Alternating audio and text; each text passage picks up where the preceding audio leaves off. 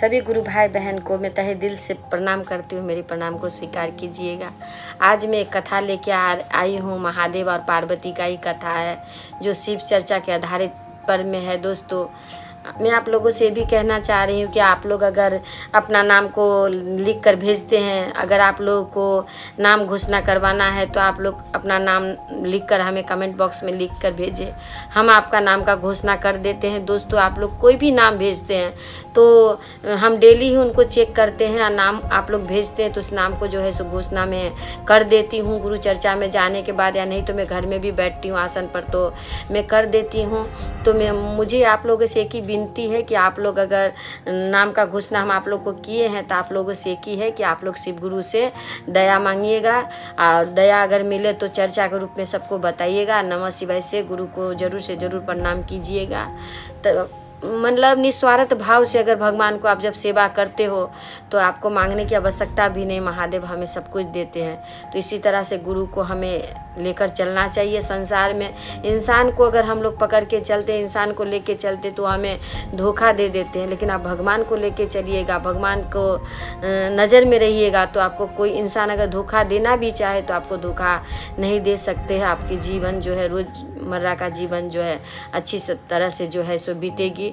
हमें सच के पद पे रह के गुरु का काम करते रहना है, शिव की ओर चलते रहना है दोस्तों। तो आप लोग भी इसी तरह से हमारे साथ, जैसे हम गुरु का सेवा करते हैं, जैसे हम गुरु के चर्चा में जाते हैं। हम एक ही चीज़ कहा गया है, बस तीन सूत्र का पालन। तीन सूत्र में ही सब कुछ छिपा हुआ है।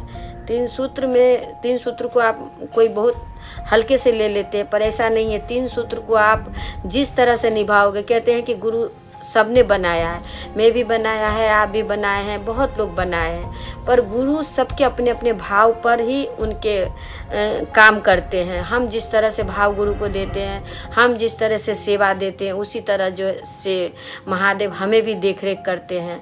तो जिस तरह का आपका भाव होगा महादेव के प्रति जिस तरह से आपका प्रेम होगा गुरु के प्रति जैसे आप अपने हस्बैंड के लिए जैसे आप अपने बच्चे के लिए तड़पते हो जैसे उनका देख रेख के बारे में आपको ख्याल रहती है उसी तरह से हमारे गुरु का लिए भी आप लोगों को दिल धड़कना चाहिए, उसी तरह से गुरु का भी प्यार करना चाहिए। कहीं भी आसपास में चर्चा हो तो आप लोग ज़रूर से ज़रूर जाए। जो भी गुरु भाई बहन जो नया बनती हैं हाथ में कंगन ज़रूर पहने, हाथ में कंगन पहने। अगर कोई गुरु भाई बहन आपको राह में मिले जी, जो हाथ में कंगन पहने हैं तो उसे बहुत ही भाव से उनको प्रणाम दे अपना। और प्रणाम देते समय ये ना आपको मन में आए कि किस तरह का है, क्या है, नहीं है। यही यही मन में होना चाहिए आप लोगों के कि हमारे शिव शिष्या बहन है, हमारे गुरु भाई बहन है, उसी आधार पर अब हम उनको प्रणाम करते हैं, वो क्या है, नहीं है कि जाति से, किस पाति से, ऐसा हमें नहीं मन में रखना है। हमारी गुरु बहन है, हमारे गुरु भाई है, हम उन्हें प्रणाम करते हैं। तो इस तरह से गुरु को प्रणाम करिएगा। आसपास में चर्चा हो तो आप लोग ज़रूर जाए। और आप लोगों को क्या अच्छा होता है, क्या नहीं होता है, ये भी हमें लिख कर आप लोग ज़रूर बताइएगा। घर में बहुत सदस्य अगर आप लोग हैं, दस जन है या पाँच जन है, आप लोग सबका ही नाम दीजिएगा। और एक जन भी कोई पालन कीजिएगा, एक जन भी कोई अगर घर का मुखिया है जो घर का पूरा सब देख रेख उसके अंदर में है तो अगर बैठकर गुरु को दया मांगते हैं, नाम तो क्योंकि आपका चला गया है गुरु के पास में, और आप दया मांगती हैं तो सबको मिलेगा, घर का जितना सदस्य सब। जैसे हम एक जन, हम घर में खाना बनाते हैं या पाँच जन को हम लोग जिमाते हैं, खिलाते हैं तो सभी खाते इसी तरह से हम दया मांगेंगे तो हमारा बच्चा, हमारा पति, हमारे सास, ससुर सबको मिलेगा। तो इस तरह का भाव लेके हमें गुरु को चढ़ते रहना। बाकी बात तो गुरु सब कुछ जानते हैं। दिन, दुगनी रात चौगनी, महादेव करते हैं। बस भाव सही रहना चाहिए दोस्तों। तो मैं फिर से आप लोगों को प्रणाम करती हूँ। मेरी प्रणाम को स्वीकार कीजिएगा।